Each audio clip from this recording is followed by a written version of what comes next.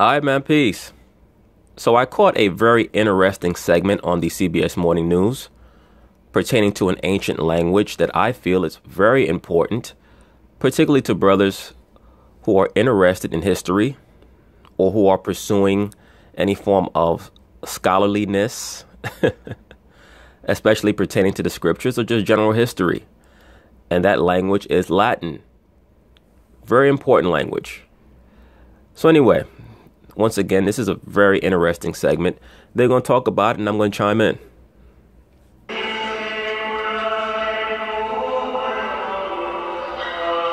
It's a rare sound these days. A Roman Catholic Mass said in Latin. The language was once at the heart of Western culture.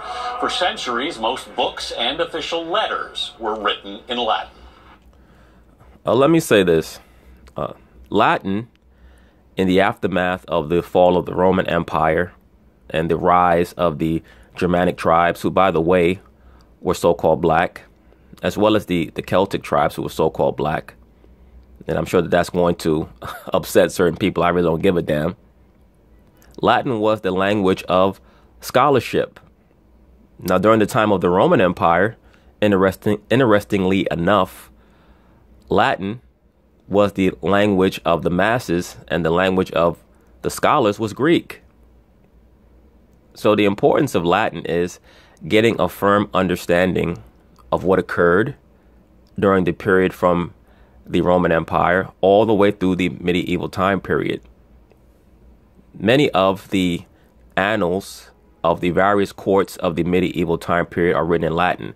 For example, they have one, if I remember correctly, called the Royal Annals of the Franks, which covers the time period from a little bit after Charles Martel all the way through Louis the Pious, who I believe, if I remember correctly, was the grandson of Charlemagne.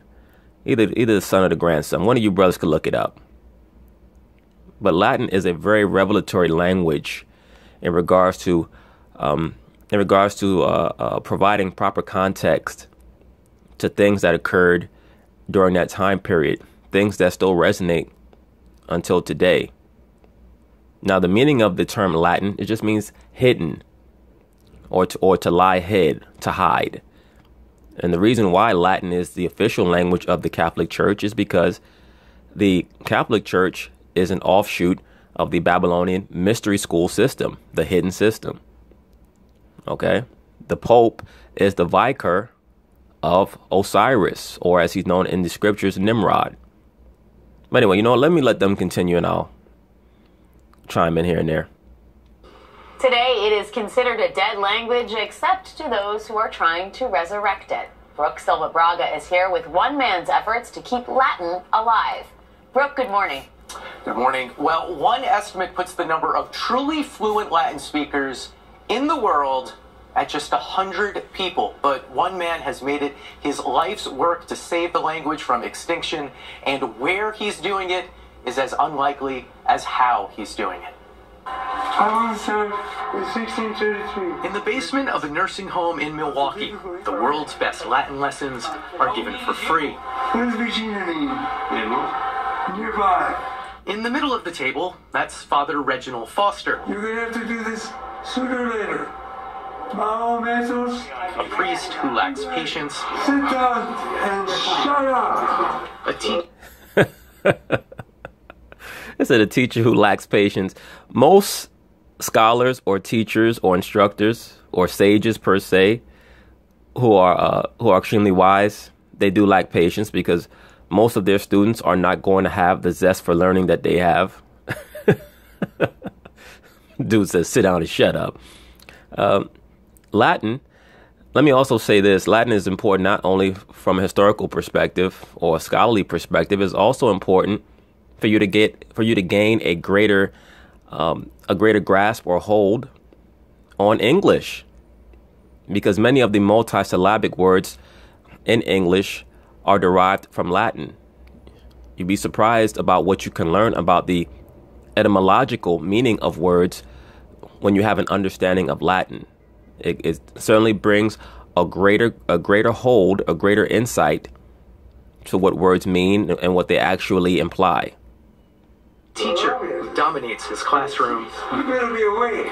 The man who has managed to convince hundreds of people to dedicate their lives to a language no longer living. His passion is what drives us. He's like the rock star of the Latin world. So um, it's just great to be in his orbit. Why are you so good at Latin? Is it just the time you put in?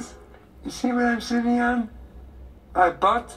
You sit on your butt and study Latin as long as I am. You'll be a master too. In other words, it's not that hard. You just have to have a, a zest for it and a verb for it. And I agree. Uh, I learned Latin in high school. We used to have classes every day from um, from freshman year all the way to, to senior year, and I'm nowhere near as good at it as I was in in uh, high school. But I can still recognize certain words, and I still remember many of the rules, even though I, I have to get back into it. But Latin is, is a is a is a language for people who who love history. If you don't love history, it's not really going to interest you. But for for those of you brothers who are into the knowledge or who are interested in getting a um, a greater understanding of the scriptures, the Bible, it is certainly a language that is worth investigating. It just seems too hard. No. Every poor person, derelict, prostitute, anyone else in Rome spoke Latin. If they could do it. Well, if they could do it. And I also say, when the Romans said to their dogs, they had pets, come here, sit down, and eat your dinner. Veni hoc, concede, et cenam tuam sume. And take your dinner. In Latin. Well, the dog picked it up. As a young man, Foster, the son of a Milwaukee plumber, became a priest in Rome with a knack for the language, and in 1970 got a call from the Vatican. They wanted him to Now, you see, the priests of Rome, or the quote unquote Latin church, or the hidden church, just the Babylonian church, you see, they carry those long candles. Those candles are in veneration of Tammuz, right? Tammuz, the, the word Tammuz, or the, or the name Tammuz, who's the god of vegetation, um, that's basically the Semitic version of Heru or Horus. The, the name Tammuz means to be purified by fire. And that is why you'll see the um, the extensive use of candles, not just in the Catholic Church, but also in the Wiccan Church. And I'll probably be doing a video on the Wiccan Church very soon. Remember when I did the video on uh, the Spike Lee film, She's Gotta Have It? I mentioned how Nola Darling would have her bed surrounded by candles because that's consistent in the that's consistent with the witchcraft circles, which are just an offshoot of the Babylonian mystery school system. Okay, so when you become a priest of the Catholic Church, Catholic meaning universal, also known as the Latin Church, which means the hidden church or the mis- or the uh, the mystery school, they carry the candle in veneration of Tammuz, aka Heru, or he was also known as Apollo. to translate Latin. For the Pope, for the next 40 years, he wrote speeches and letters in the names of four popes. And I mentioned this before. You can see the Pope's uh, that that headpiece that the Pope wears is the fish hat for Dagon. And those of you brothers who read the scriptures, you know who Dagon is. He's the fish god. Now in Egypt, he was also known as Latus, L A T U S. He was, and the fish god or Dagon was venerated in Egypt as Latus which was another name for Osiris because it was believed that Osiris was um, put underwater and he came back to life. He regenerated.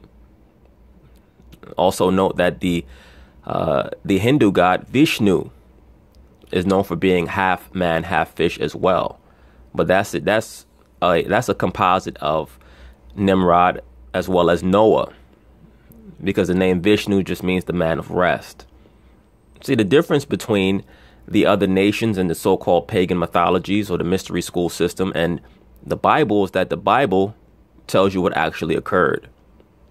These other systems tell you they they uh, tell you they, they tell you what occurred historically from the perspective of Cush and Nimrod and what they'd like you to understand based off of the veneration of Osiris, who was set up by his father to be the left hand version of Christ. So you have many of these brothers who delve into these other belief systems, and they want to tell you about how Christ is really Heru. What they're really what they're really telling you is that they don't understand the Babylonian Kemetic mystery school system, nor do they understand the Bible. Osiris or Nimrod was trying to take on the characteristics of Christ, which is why he was eventually put to death by Shem, who's known in the Kemetic uh, mythologies as Set.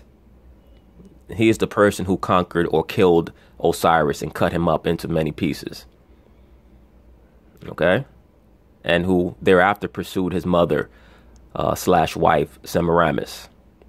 But just to get back to the point, when you look at these uh, high level figures in the Catholic Church, they're venerating the fish god, Dagon, who was known in Egypt as Latus, L A T U S, which the term Lat or Latus means to hide, the hidden one also known as Saturn, which means the same thing to hide, or Amun Ra, the hidden god. It's all talking about the same figures, Cush and his son Nimrod. Okay? So that is why the the the um the term Latin is used. Remember, Latin comes from Greek. And when you look at the official origin of many of these languages, they'll tell you about how those languages are Indo European, all this nonsense. There's no such thing as Indo European all languages come from the same original proto language. The alphabet of the Greeks, quote unquote Greeks, who were black prior to the invasion of the Macedonians, by the way, their alphabet came from the Phoenicians, who are known in the Bible as the Canaanites. Okay? The Canaanites are the offspring of Ham, or as he's known, or, or as that word is pronounced in the English, Ham, but as it's really pronounced is, is Chem. That's where you get the term Kemet from. Okay? So the Phoenicians provided the alphabet to the original Greeks, who were known as the Pelasgians or the Dorians, uh, the uh, Aetolians, Achaeans, so on and so forth. And they were all different tribes of people of color. The Pelasgians are known in the Bible as the Philistines. Okay? So the Greek alphabet made its way into Italy, where it was taken by the Etruscans, who are known in the Bible as the Ludim, L U D I M. In conventional history, they're known as the Lydians. Okay? They were also people of color. The Etruscans passed their alphabet down to the Latins, and Italy was eventually invaded by the um, by the Caucasians, who became known as uh, the the Imperial Romans who came into power after they conquered most of that peninsula. And they fully came into power when they were able to defeat Hannibal in the Second Punic War. And then they went on to have a, uh, a war with the Macedonians for supremacy of the Mediterranean region. Okay, but the Pope is just a vicar for Osiris, which once again is where that headdress comes from. And that term Lat or Latin, it just means to hide. Even the god Shiva was known as Laut or Lot, the hidden god. Okay, also the destroyer god. So Osiris, Saturn, Amun Ra, Shiva is all talking about the same entity. Okay? That you're the Pope. What would you say? I said, well, I have some ideas. One of Foster's ideas was rejecting the trappings of the church Instead of a priest's habit, he dressed like a working man. Instead of a mattress, he slept on the floor. His Latin was so good the church tolerated Foster, but the high profile job didn't quite satisfy him. Because what we were doing upstairs in the office was useless. No one's reading those letters. So I said, I want to do something useful. Teach them Latin in my way. His way meant scrapping the traditional method of memorizing tables of text and instead treating Latin as a living spoken language.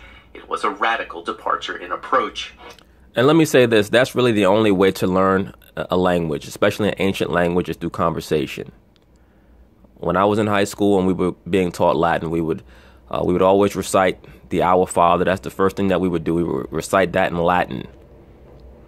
That was uh, Pater Noster quies in celis, sanctificetur nomen tuum, adveniat regnum tuum, fiat voluntas tua sicut in Celo, et in terra panem nostrum quotidianum, da nobis hodie, et dimite nobis debita nostra, sicut et nos dimit dimitimus debitoribus nostris, et ne nos inducas in tentationem, sed libera nos a malo. Amen.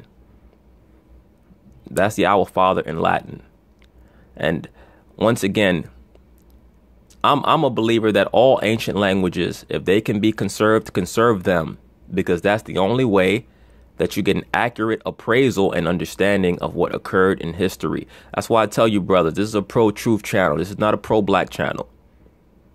All right, pro blacks are are no better than the so-called uh, um, white nationalists. They want to contort history. Our, our history is so vast.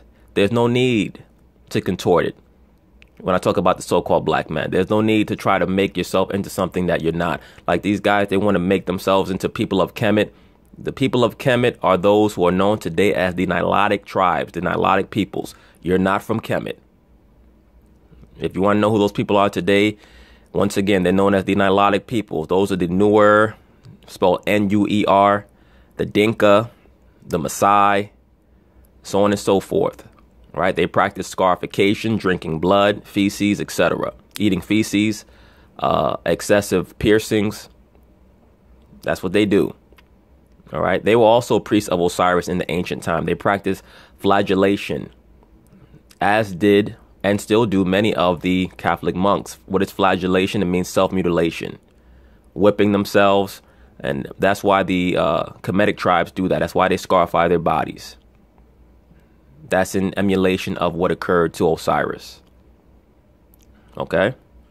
But you know what? We'll probably delve into that deeper in another video.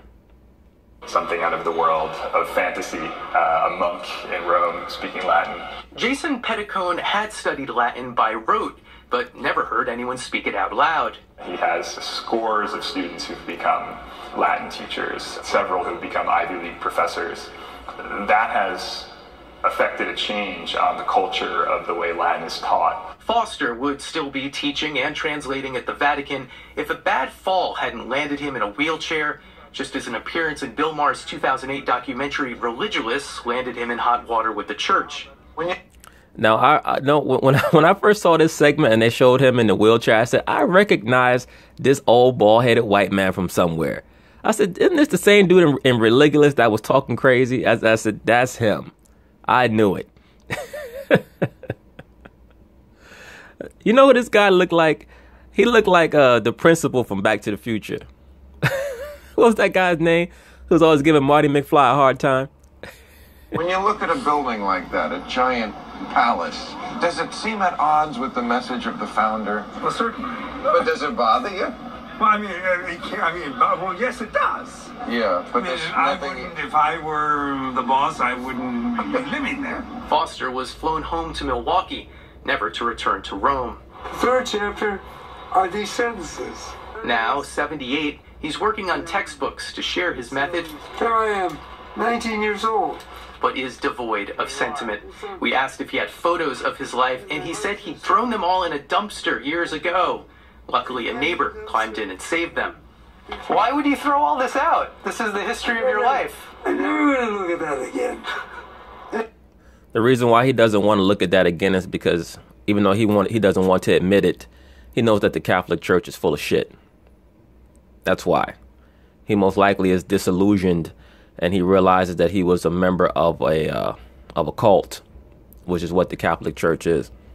And let me also say this: when you know when you when you go into the scriptures and it tells you that that talks about the number of uh, in in Revelation, the, the number six six six, that's in reference to Saturn or as he was also known as Lateinos.